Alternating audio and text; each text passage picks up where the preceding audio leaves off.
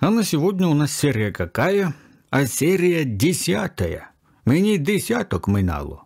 Я пас ягняток за селом. Що непонятно? Десять уже, ничего себе. Десять серивов. А вы там это, вы не забывали, чтобы давать педали? Правильно? Вот это потому, что не надо забывать. Не надо. Без этого ничего не будет. Не забывали. Ото. А на сегодня у нас уже серия десятая. Уже точно. Серия десятая. Погнали. Далее.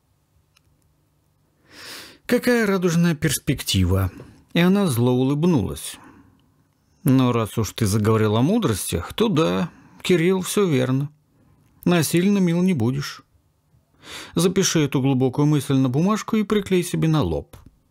А еще есть поговорка «лучше быть одной, чем с кем попало». Ясно? А я никто попала, Ксюш. Я тот, кто тебя по-настоящему любит, кто ценит твой ум, твою целеустремленность и всегда готов прийти на помощь. Я всегда. И да, спроси у Лины, кто тебе эти дни снабжал всем самым необходимым. И кто в итоге говорил с твоим начальничком, чтобы он от тебя отвалил со своими претензиями. Женька благородно передал инициативу мне. Пока хорошо и с толком проводил время в таежных лесах. Пока хорошо. А что значит хорошо и с толком? Ну, это он тебе сам расскажет уже. Если все-таки доедет до тебя, а не пошлет телеграмму с почтовым голубем. Он что, вернулся? Вернулся, я ответил на выдохе. Когда? Да вот, сегодня. Думаю, нам пора прощаться. И она принялась кусать губы. Спасибо, что навестил. И за все остальное тоже спасибо. Провожать меня не надо. Хотела сделать шаг в сторону, как Кирилл сразу же поймал ее за руку. А я еще кое-что забыл сказать. И? У нас с Женькой есть одна общая черта. На двоих. Мы оба очень упертые, когда чего-то очень хотим. Я знаю. Как бараны те. Мне что, пора бояться? Смерила его взглядом. До скорой встречи. И он отпустил руку. Прощай. Домой Кирилл вернулся в уже привычном для него состоянии апатии. Последняя на сегодня дежурная улыбка была отдана консьержке Валентине Михайловне. Ну, а теперь все. Теперь уже можно расслабиться. Ксения снова послала к черту, но ничего. Надо просто дождаться. Когда Женька встретится с ней, когда он поговорит. Уж он-то жалеть ее точно не станет. Он никого никогда не жалел. Для него все люди делятся на две категории на временно полезных и на вообще бесполезных. Так было всегда, навеки вечные. И пока брат с отцом шли по головам, по головам, выстраивая свою миллиардную империю, он поддерживал мать, потому что кто-то должен же был поговорить с ней, кто-то должен был жалеть ее, сочувствовать или радоваться – да хотя бы элементарно сопровождать на прогулке. Все-таки у нее начался жуткий артрит.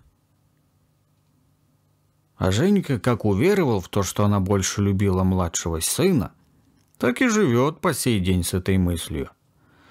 Оправдывает ею свой эгоизм. М?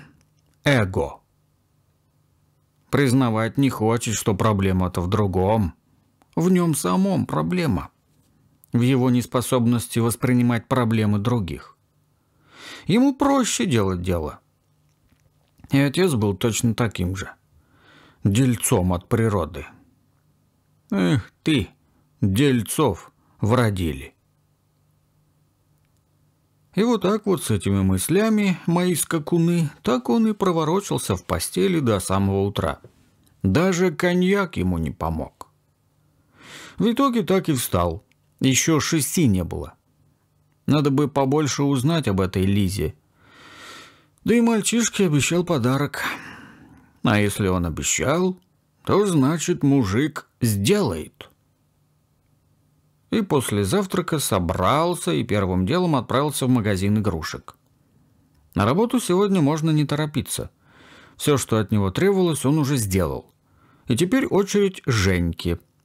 Пусть он там поработает. Пусть отведет душу. Ведь работа — это то, ради чего он, собственно, и существует. Живет. Существо. И как же была удивлена Лиза, когда встретила его на пороге. Тут как тут. «Добрый день!» И она растерянно улыбнулась. «Добрый!» И он потряс пакетом с логотипом популярного конструктора «Лего». «Лайгот! Ложися!» Я тут вот... Э, ну, не каждый день узнаешь, что у тебя есть племянник. Понимаете? Или я не вовремя? Женька дома?» «Ну, почему же не вовремя?» И скорее отошла в сторону. «Проходите, мы все равно ничем не заняты». А Женя уехал рано утром. Поскучал, наверное, по трудовым будням. М? Заскучал. И он зашел в дом. И тут и Пашка пробежал. Тык-тык-тык. «Привет, Павлик!» И Кирилл пожал ему руку. «Ну, как дела?» «Холосо!» И тут уставился на пакет. «Это за меня?» «Да?» «Тебе, тебе. Вместе соберем?» «Давай». «Тогда держи». И он вытащил из пакета большую коробку, на которой был нарисован пассажирский лайнер с диспетчерской вышкой. «Добрый вечер, пан диспетчер. Добрый вечер». «А? Private лайнер? Ничего себе! Самолетина!» «Ух ты!» И тут аж запрыгал на месте. «А, запомни, твой дядя очень щедрый человек». И тот расплылся улыбкой. «Запомни». «Спасибо». И он схватил коробку и помчался в гостиную. «Все, полетел самолет». «Спасибо вам». И тут вступила Лиза. «Может, пообедаете?» «Я как раз приготовила». «А вы знаете, я не против». И он снял себе пальто и разулся. «И давайте вот это на «ты». Мы все-таки почти жужа родственники, как-никак». «Давай», Честно говоря, она не понимала, что происходит и зачем он вообще приехал. По крайней мере, со слов Евгения, Кирилл не очень хороший человек. И единственный его мотив знакомства – это собрать побольше, побольше информации. «Ну как? Отдохнули с дороги?» И он зашел в кухню следом за ней. «Да, вы знаете, более-менее». «Ну, я же сказал, на «ты». И Кирилл сел за стол и осмотрелся. Да, а долго же этот дом пустовал. Дожидался. А что, Женя здесь не жил, что ли? Да нет. Как вот построил его, вот так вот и все. Забросил. Все, эту заброшку. И закрыл на ключ. Приезжал потом только, чтобы проверить, все ли тут в порядке. Вот и все. Лиза тем временем подала ему тарелку горячего борща с двумя ломтями домашнего хлеба. «А компот?» «Вот это красота!» И тот аж присвистнул. «Вы ешьте, а я сейчас за Пашей схожу». Через минут пять они все уже сидели за столом. Лиза кормила сына, который был всецело занят изучением инструкции по сборке своего самолетика. Кирилл с искренним интересом наблюдал за ними. Все-таки и Евген сломался. М-м-м. Не выстоял перед женскими чарами. Кто знает, кто зна. Может быть, и он скоро познает, каково это. Вот так вот. Иметь семью. Да, это было потрясающе. И он отставил пустую тарелку. Спасибо, Лиза. Руку на сердце положа, такого борща я еще никогда в жизни не ел. Остается только позавидовать Женьке. Спасибо. И та покраснела, как той буряк в борще-то, свеколушка. «А он знает, что ты здесь?» — она спросила. «Нет». И он пожал плечами. «Не переживай. Ну, даже если узнает, претензий к тебе никаких. Я же ведь сам приехал». «Да дело не в этом. В этом, в этом. Мой брат очень слишком подозрительный и не там, где надо. Еще не доверяет мне от слова совсем. Угу. А разве есть поводы? Нет. Но если повода нет, его всегда можно придумать. Ты же сама его знаешь. И он улыбнулся крайне заразительно. Кирилл как прямая противоположность Жене. Без конца улыбается, шутит, а? как тот инь-янь. А, точно. Да и не важно это. Я приехал просто познакомиться поближе. Вот с племянником подружиться. Дядя Кирилл? И вот и Пашка справился со своей порцией. А ты мне поможешь? Дядя Кирилл. Ха, ну еще бы. И сразу поднялся. Спасибо, Лис, еще раз. Это он указал на тарелку. Это все-таки великолепно. Шедевр прямо. Ну, действительно. Увы, теперь глубоко одинокий и местами несчастный родственник Женьки будет периодически околачиваться около вашего двора. Все. Вот так и сказал, как подчеркнул. И все, все, все, все, все. Больше не смущаю. И подошел к Пашке. ну пойдем творить, творы делать, а? Пойдем творить. Идем. С радостью поспешил за ним. Следующие полчаса Лиза наблюдал за тем, как Кирилл, сидя в позе лотоса на ковре, собирает с Пашкой самолет. «О, ты, еще те, конструкторы!» Такое ощущение, что вся жизнерадостность досталась Соколову-младшему. Ну, действительно, со стороны именно так. Тогда как старшему осталась вся-вся-вся, вся самая угрюмость. Как кучей навалила. Зато на лицо они очень похожи.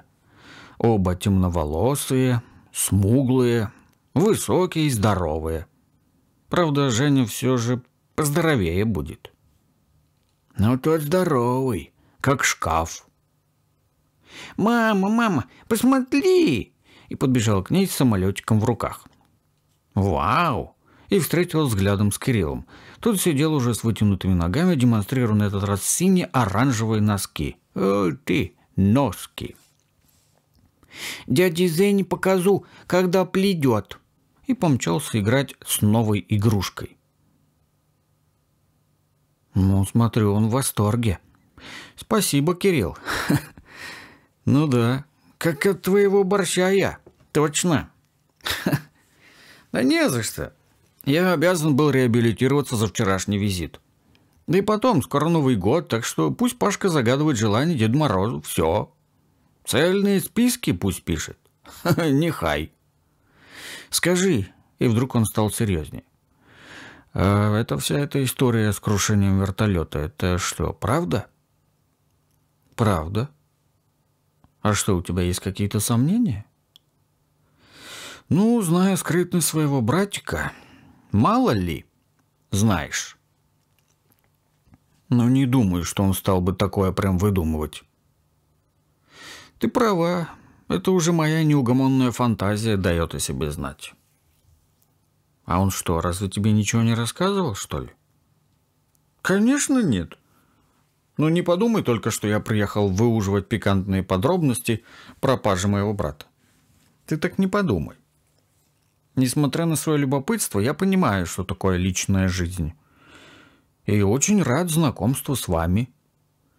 Пашка вообще мировой парень. Ты ведь знаешь, что он очень похож на нашего отца? Ты ведь это знаешь?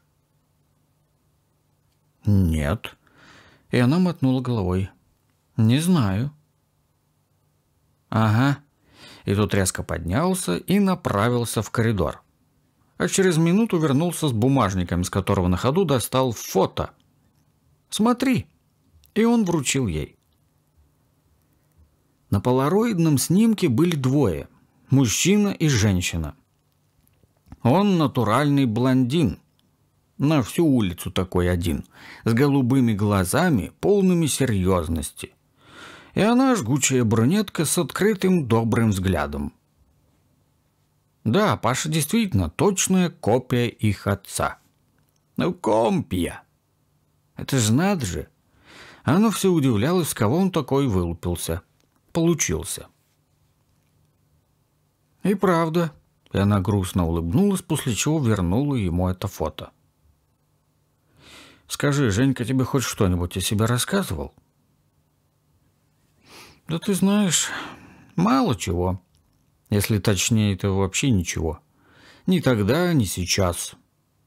Только лишь вчера поделился характеристикой брата. Видимо, для того, чтобы она заранее смотрела на него с подозрением уже. «Ясно. Значит, расскажет еще». «Это да». И она вспомнила, что в его квартире и намека не было на семью Даши. Только фотоальбомы самого Жени в детстве. Даже брата не было ни на одном фото. Ни на едином. По сути, она не знает этого человека. Вовсе. На это, видать, и был расчет.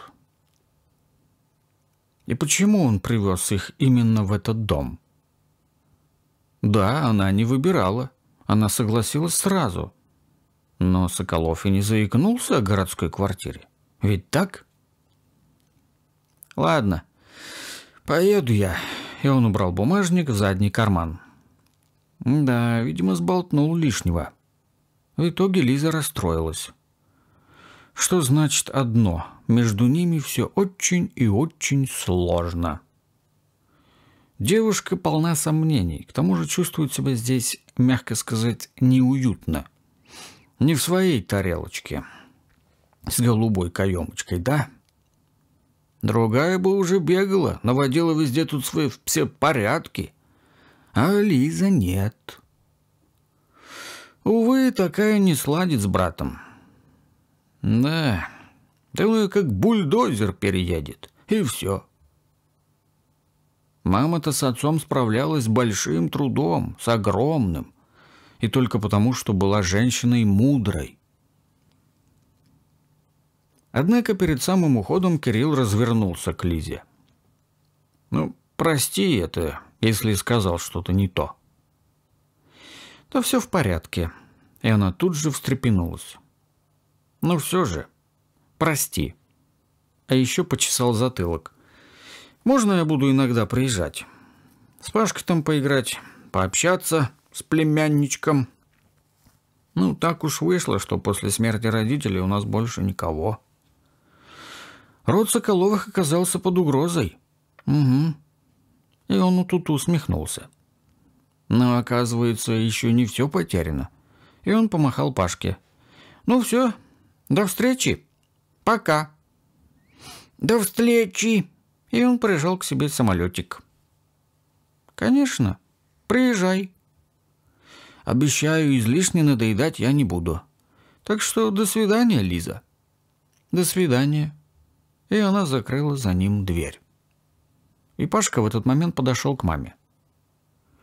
А дядя Кирилл ведь еще, еще приедет? Обязательно, Паш. И она взяла его за руки. А сейчас пойдем собираться на улицу. А можно, можно я самолетик с собой возьму? Бери.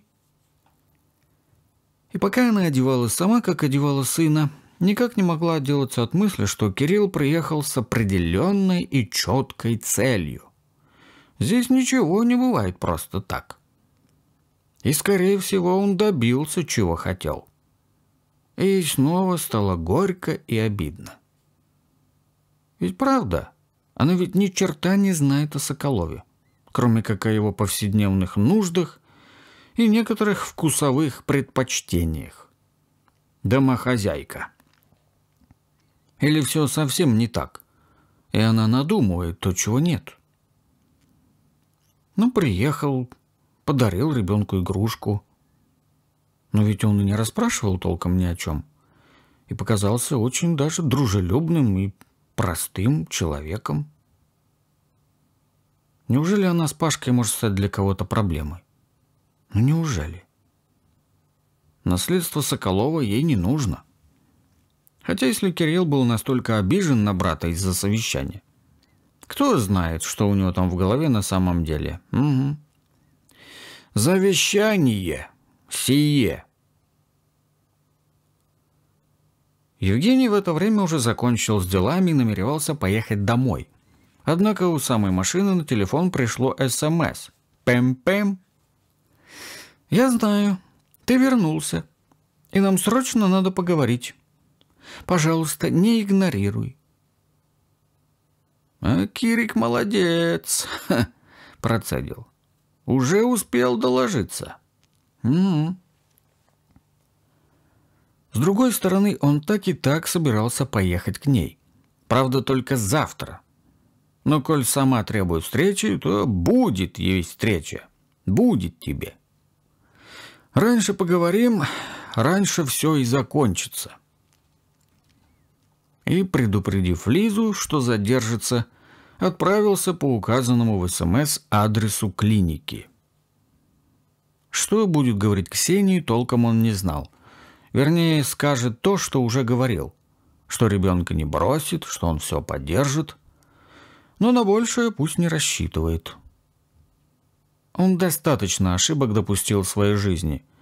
И пусть это будет последний. А Ксения в это время сидела на кровати и, разложив на одеяле косметику, наводила красоту. Все-таки перед Женей надо выглядеть соответствующе. А рядом с ней на стуле сидела верная подружка. М? Советница. «Я, конечно же, за тебя», и она приложила ладонь к груди Лина.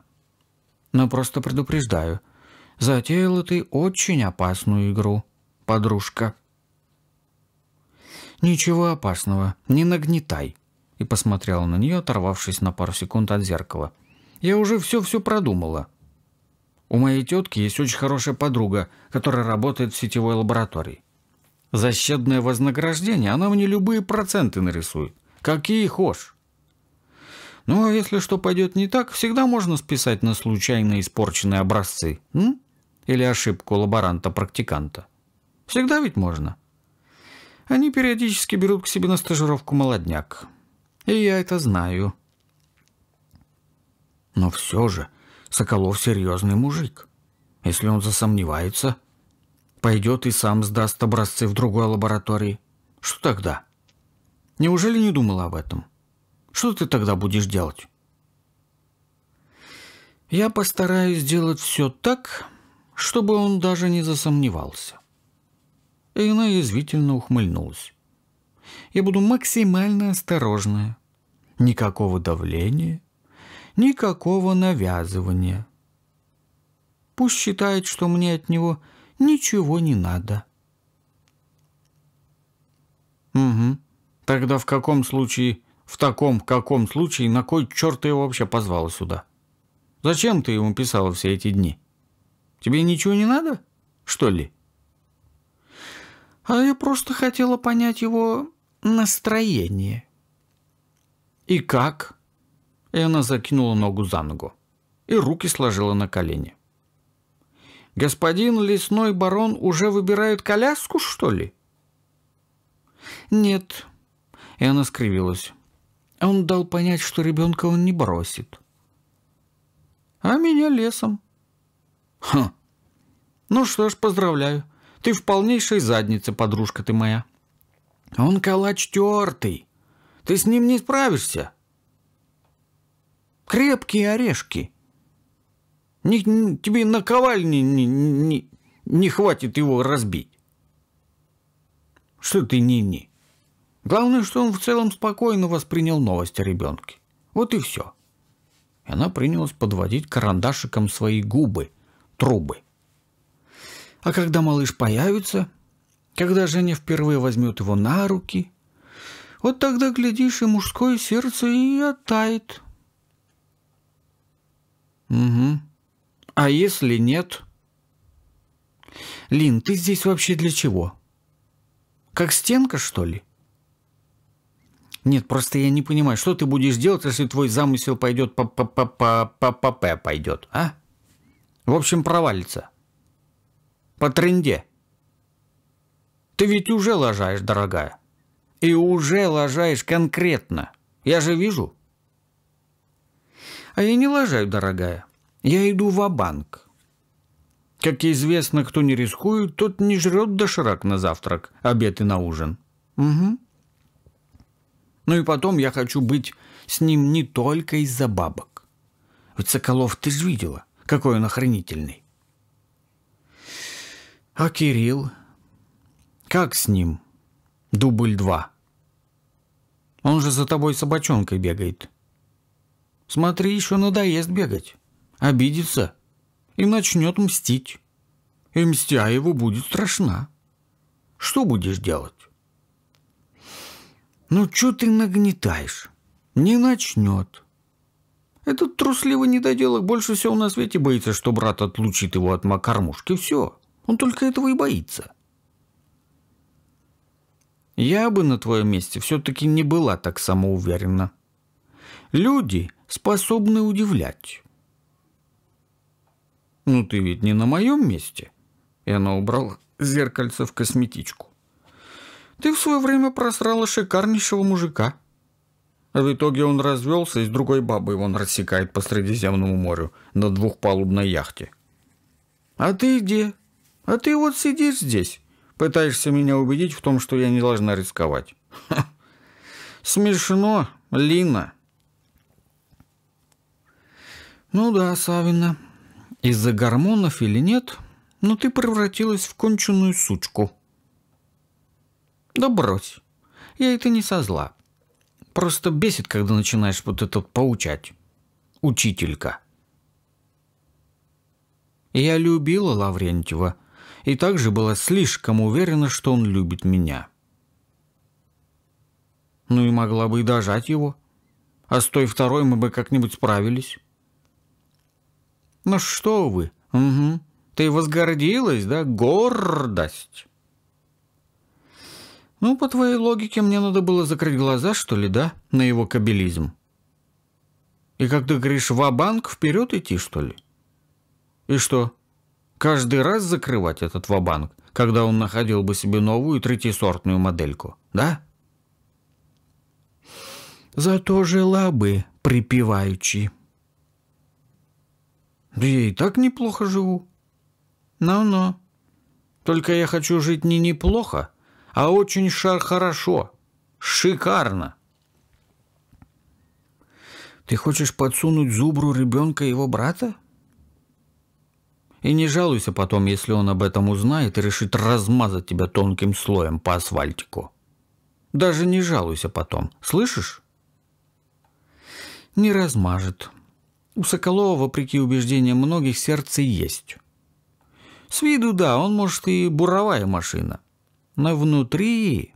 Внутри этой машины находится удивительно нежный механизм. И когда это ты успела его настолько хорошо узнать? Все те механизмы. позвольте ко мне спросить. А для этого достаточно посмотреть на его отношение к неудачнику-братцу. И все. Кирилл спустил в унитаз все оставленные ему в наследство деньги. Вложился в несколько венчурных проектов. В итоге эти компашки накрыли все медным тазиком. Все. Жена на тот момент Женя на тот момент видеть его не хотел. Но когда Кирилл приполз, он не смог отказать ему в помощи. Более того, сделал своим замом, допустил к важной информации и этим самым развязал руки. Ай, тоже мне сравнила. Срав чини. Эна закатила глаза под лоб. Ну ты же брат все-таки, с чем ты сравниваешь, ты? срав чини. Ну да. Однако, кроме брата Соколов уже не раз помогал и своим рядовым сотрудникам, причем на безвозмездной основе. Знаешь, кто-то его люто ненавидит, и, я полагаю, заслуженно. А кто-то и боготворит. И она довольно улыбнулась. Ай, ладно, подружка. Больше взывать к здравому смыслу я тебя не стану. Действуй. Но знай, будь готова ко всему, буровая машина. А ты за меня не беспокойся. Я всегда и ко всему готовая. А взгляд на мгновение да потяжелел, потемнел. И знаю, у меня всегда есть план «Б». Угу. А я даже не буду спрашивать. В общем, он уже скоро будет здесь.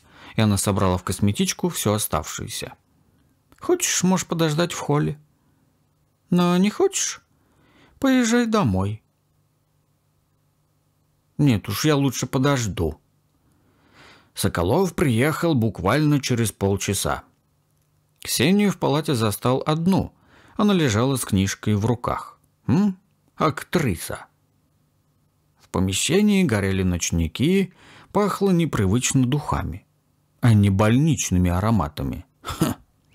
Все заготовлено. Там еще и служба поддержки у нее вон за стеной. Дожидается. Угу. Ну, привет.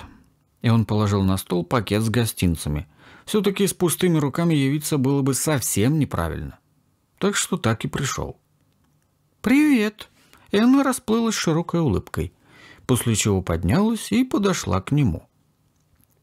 «Я так соскучилась, Жень. Выглядишь значительно бодрее, чем последнюю нашу встречу». «Ну, ты тоже, смотрю, хорошо выглядишь. Ты прости, но я ненадолго. Дела». «Понимаю. Не успел вернуться, как уже сразу же на работу, да? А как здоровьется?» «В норме. А у тебя как?» Слова меж тем звучали как никогда дежурно. «Сносно». И она вернулась в кровать, хотя было дикое желание обнять его, но нельзя, не можно. Он явно не в духе сейчас, притом наверняка заготовил малоприятную речь. Снова о своем расставании. «Ты хотела поговорить». И он опустился на стол. И я тоже. Ну, в общем-то, я хотела просто тебя увидеть.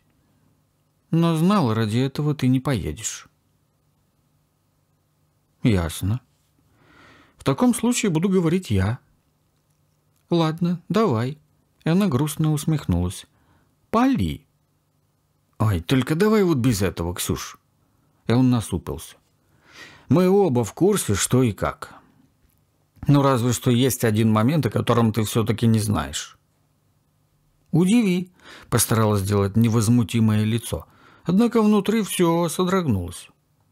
«У тебя другая?» И она выпалила пыли, быстрее, чем даже подумала. «Да. А еще у меня есть сын». «Что?» И она так и застыла на месте. Кровь вмиг отлила от лица, а в груди сдавила. «Сейчас разродишься». «От нее?» «От нее. Я люблю эту женщину». «И почему?» А в горле резко пересохло, отчего с трудом получалось говорить. «И почему я только сейчас об этом узнаю?»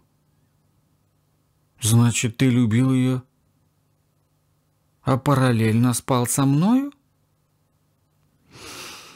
Все не так, совсем не так, как ты думаешь. Мы однажды расстались, и очень надолго. И вот мы снова встретились, когда мой вертолет рухнул там в лесу. Ммм, белые чувства взыграли, выходит. И она принялась нервно крутить кольцо на пальчике. Как по сериальному, однако, получается. Наверное, выхаживала тебя там, да? Бульончиком поила. Дай угадаю. Она была медсестрой в больнице, да? Где ты лежал? Или, может, в газете прочитала и примчалась спасать? Нет. И он подался вперед. Все было совсем по-другому, Ксюш. Но это уже не важно. Важно то, что я теперь с ней. Здорово. Уехал холостяком, а вернулся чуть ли не на образцовым семьянином, да? Смотрю, крушение пошло тебе только на пользу, Соколов. И она зло усмехнулась. Ну, можно сказать и так. Твою злость я понимаю. И повторюсь, что ребенка я не брошу. Если, конечно же, он мой. Ох, как! И она уставилась на него взглядом, полным ярости. «Э, «Ты, змея!» Хотя чего было еще ждать? Конечно, там ведь твой ребенок на сто процентов, а я по закону жанра нагуляла, да? Ведь я так, очередная охотница за большими деньгами богатого привилегированного дяди, да? Верно я говорю? Ничего не упустила? Ах, ну не устраивай ты истерик, пожалуйста, а? Я буду помогать ребенку но только своему ребенку, Ксюша. Будет мой – без проблем. И сейчас я тебе тоже помогу. А, своего рода кредит доверия. И она закивала. Это очень благородно. В твоем духе, так сказать. Да, в моем. Так вот знай, этот ребенок твой и она отвернулась. Театрально. «Больше не смею тебя задерживать» и начала смотреть в окно. «Поправляйся». И через минуту дверь за ним закрылась. И еще через пару минут снова открылась. Только на пороге уже стояла все, служба помощи, спасения. 911. Лина ворвалась. А увидев рыдающую подругу, сразу же поспешила к ней. Все, помощь, сос. «Эй, ты чего?» И она скорее обняла. «Что он такого тебе наговорил?» «Он мне... он мне...» И произнесла сквозь схлипывание. «Он мне все сказал. Все. Ублюдок чертов. Ух, мудак. Ненавижу этого урода». «Ты что сказал-то?» «Этот сукин сын еще не понимает, с кем связался. И я ему устрою счастливую семейную жизнь». «Так», — она подскочила, — «мне пора домой. Все, все, хватит. Належалась тут я». «Ксюш, ты какого хрена творишь вообще? Какой домой?» «Пойду», — и она воткнула ноги в тапочки, — «расписку напишу». Пойду. А ты помоги мне здесь вещи собрать.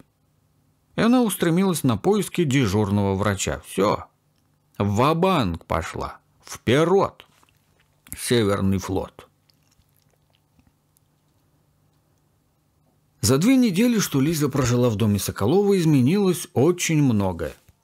Самое главное, Евгений открылся для нее с совершенно другой стороны – После работы он всегда спешил к ним.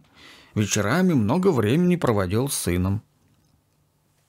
А ночами порой до изнеможения доказывал ей свою любовь.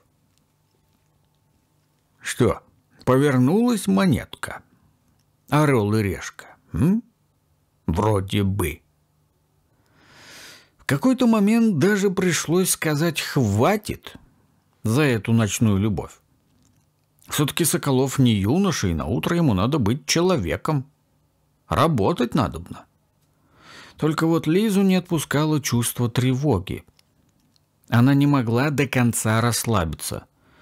И, как советовал ей отец, жить счастливо. Ах, счастье, счастье. Что это слово значит? Ха счастье вообще.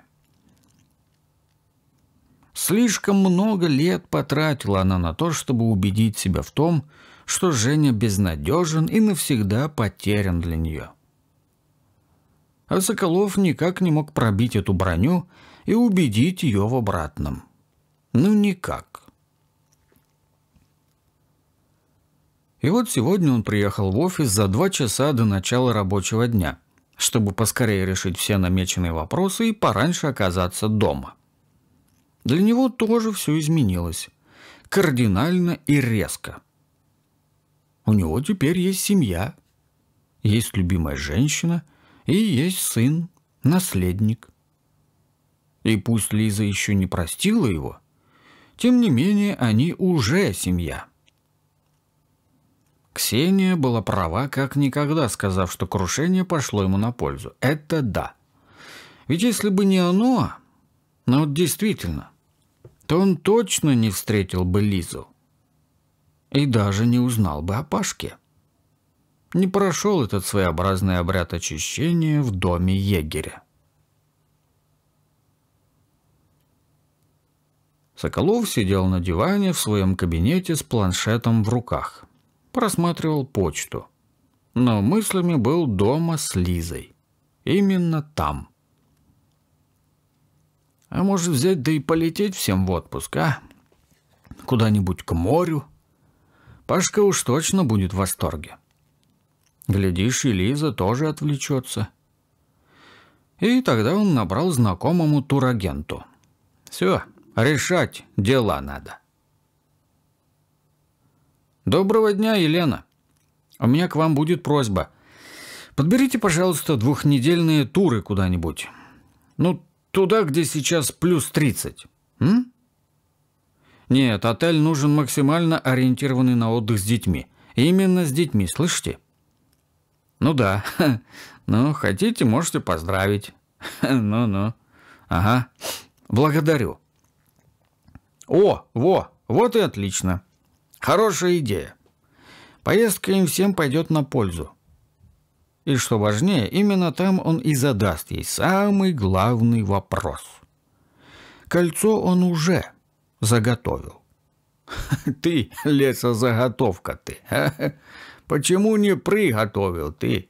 Лесозаготовки ты, заготовительные. Ну, о чем бы и не. Так что ты цепляешься? А когда хотел вернуться к почте, дверь открылась. Бздень! И на пороге стоял Кирилл. «А долго еще это будет продолжаться, а?» И бросил на брата недовольный взгляд. Он уже неделю выглядит как тот бомж с бодуна. Одна и та же рубашка он уже третий день. Когда такое было? Щетина, растрепанные волосы, глаза, как у вурдалака. Что за мазафака, а? Надо что-то делать, надо что-то решать. Все признаки запоя налицо. Но о причинах Киря молчит, как тот партизан. Аки, мазафаки, вы что тут все сговорились? Чешо? А я тут тебе документы на подпись принес. Вальяжно проследовал к столу и бросил на него несколько папок. Как подпишешь, набери и уже собрался был обратно, как Евгений не выдержал. Все, закипел чайничок. «А ну, стой!» И он как гаркнул так, что тот встал как вкопанный столбик. А затем на пятках развернулся к Евгению. Кругом! И изобразил недоумение в глазах. «Какого хера с тобой происходит, а? Мне уже надоело дышать твоим перегаром». «Ну, Временные трудности, пожал тот плечами. Скоро буду в норме.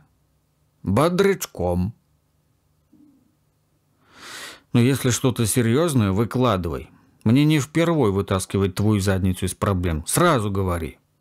Как есть все. Поверь, братец, из этой проблемы вытащить мою задницу тебе не... Тебе уже не под силу. А оно и не нужно. А потому что я сам разберусь. Что, личное? Бинго! Ага. И тут даже щелкнул пальцами. Ага.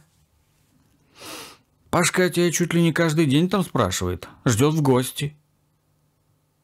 Но как восстановлю свое душевное равновесие, вот тогда обязательно и приеду. Прилечу. А, да, все хотел спросить. А ты ведь рассказал Лизе о? Ты рассказал? А почему это тебя волнует? По привычке тот нахмурился. Просто она после вашего последнего разговора, мягко говоря, она обижена. А обиженные женщины, это ты сам знаешь, создания очень мстительные. Угу. Я мстю, и мстя ее страшна.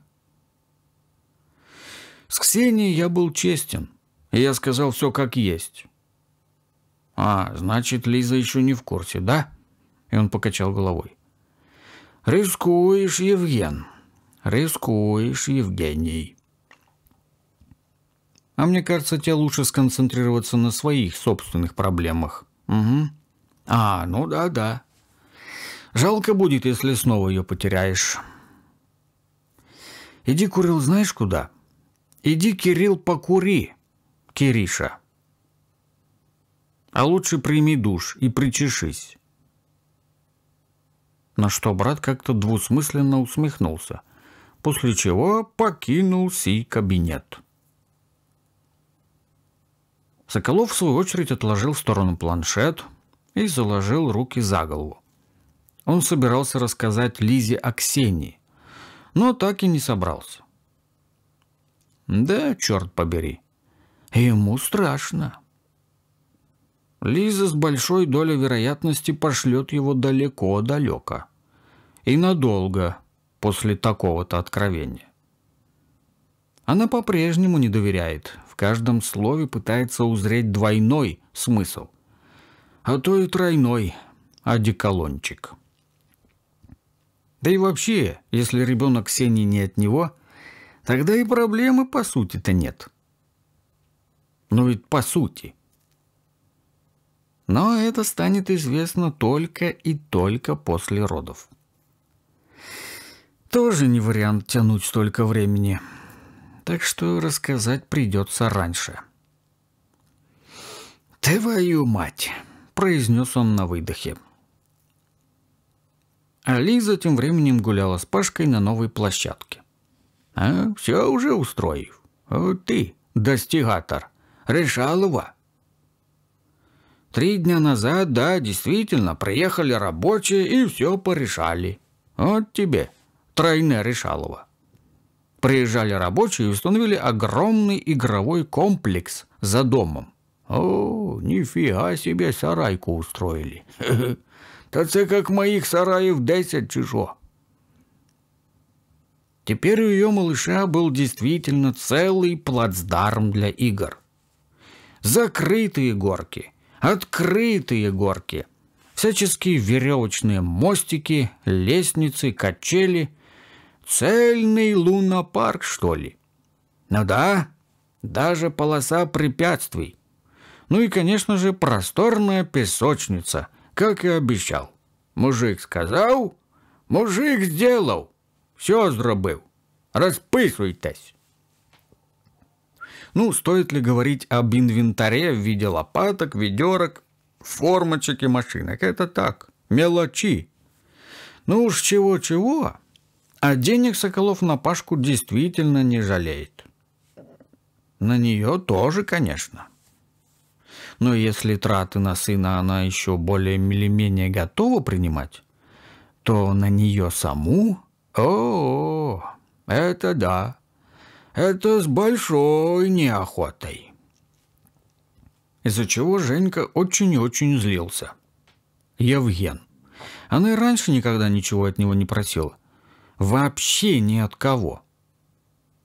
Ей куда приятнее было самой зарабатывать что, в общем-то, и продолжает делать, так как не устала бросать бухгалтерию, несмотря на просьбы Соколова.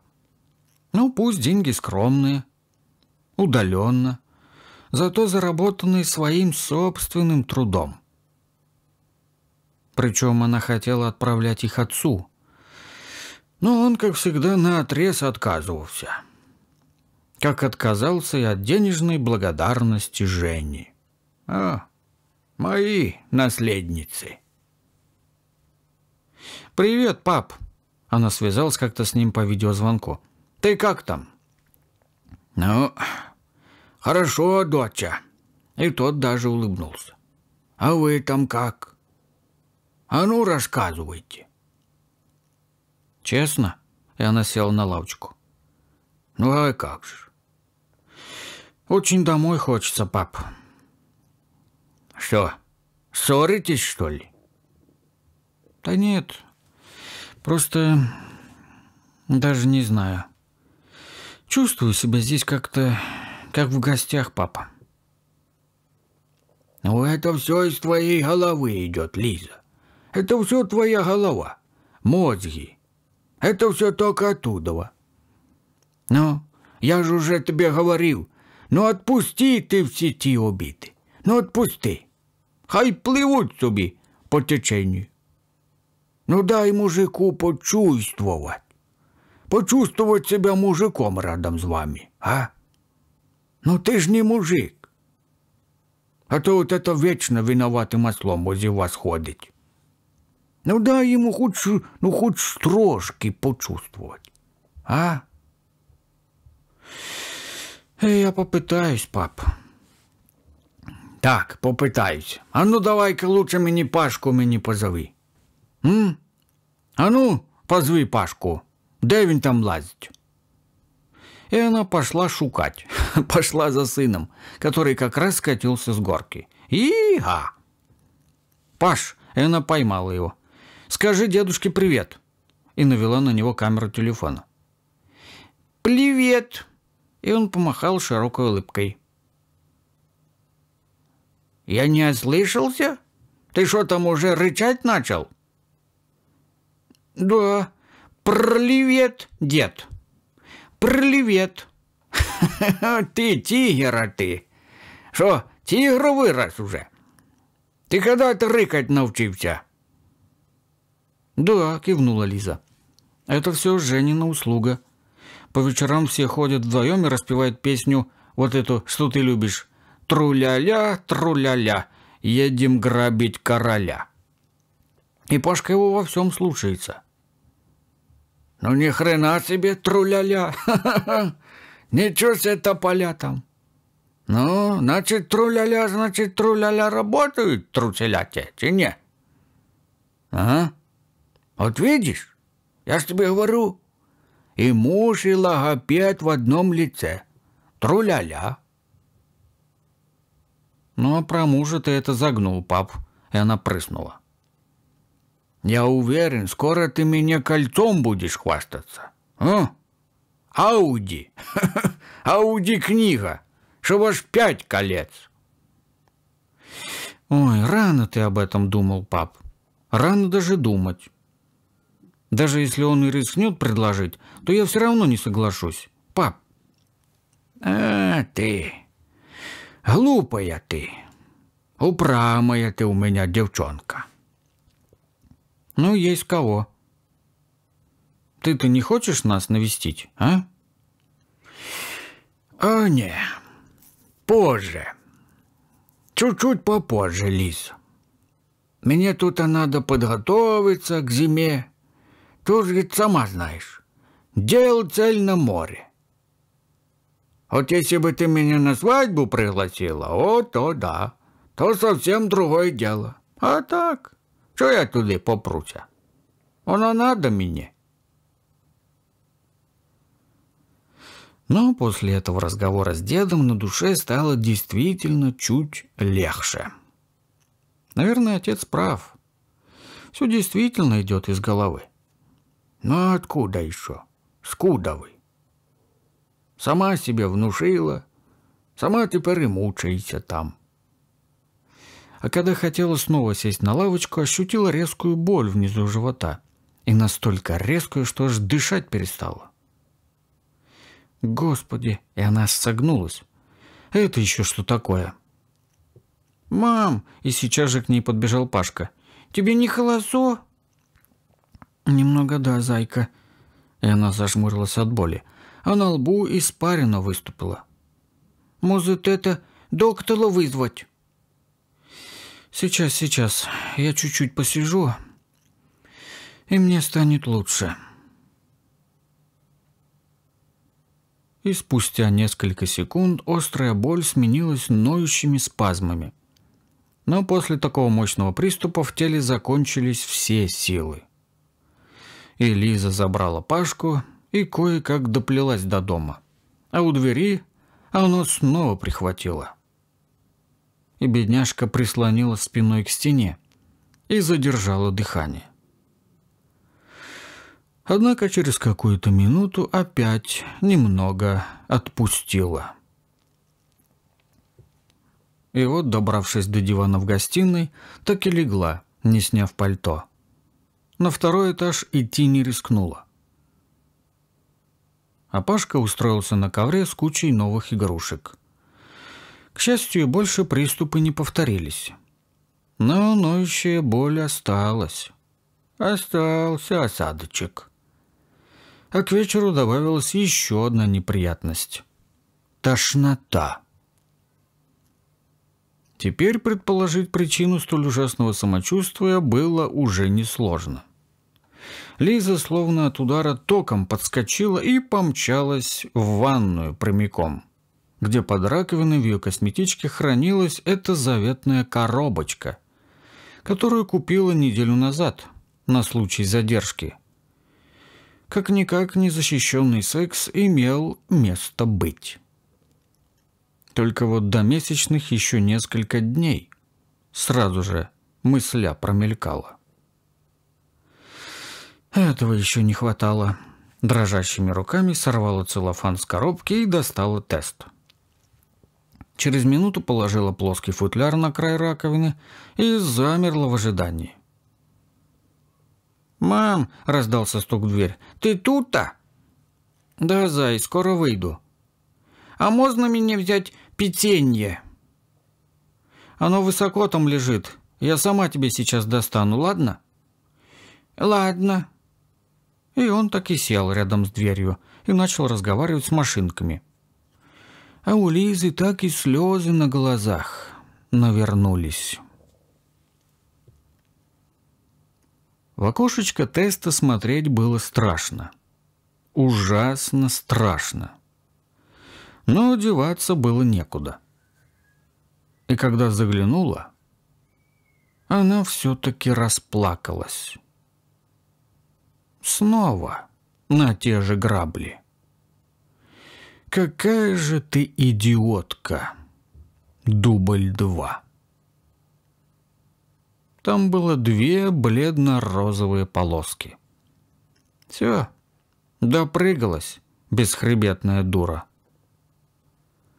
А на Соколова такое зло взяло, что захотелось прямо сейчас ему позвонить и крикнуть в трубку всего одно слово. «Ты мудак!» На вовсе.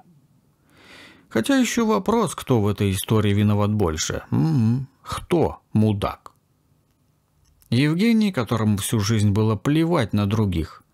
Или она, которая уже всецело испытала на себе – весь его эгоизм. Угу. Эго. Из ванной она вышла полностью опустошенная, с красными опухшими глазами и треклятой тошнотой еще в придачу. Жене она ничего не скажет. Нет. Между ними и без того полнейшая неразбериха. Да уж... «Здравствуй, дорогой. У нас все сложно. Но я беременная от тебя вторым ребенком, да?» «Поздравляю!» «Да». И пока Пашка ел там печенье, сидя верхом на барной стойке, Лиза перекладывала остальное печенье из разорванной упаковки в разноцветную жестяную банку и мысленно ругала себя самыми последними словами – да так увлеклась, что даже не заметила, как вернулся Женя. И он зашел на кухню, осторожно положил на стол букет ее любимых пионов, успокоительное, и уже собрался подкрасться, как сын испортил всю эту охоту. «Привет, папа! «Привет!» прозвучало точно гром среди ясного неба, отчего сердце Лизы пропустило этот удар, а Соколов буквально врос в пол. Их обоюдное молчание длилось всего минуту. Но ощущение возникло, будто это было несколько часов. И нарушил его Евгений. Он подхватил Пашку на руки и сразу же отвернулся, чтобы не показывать Лизе покрасневшие глаза.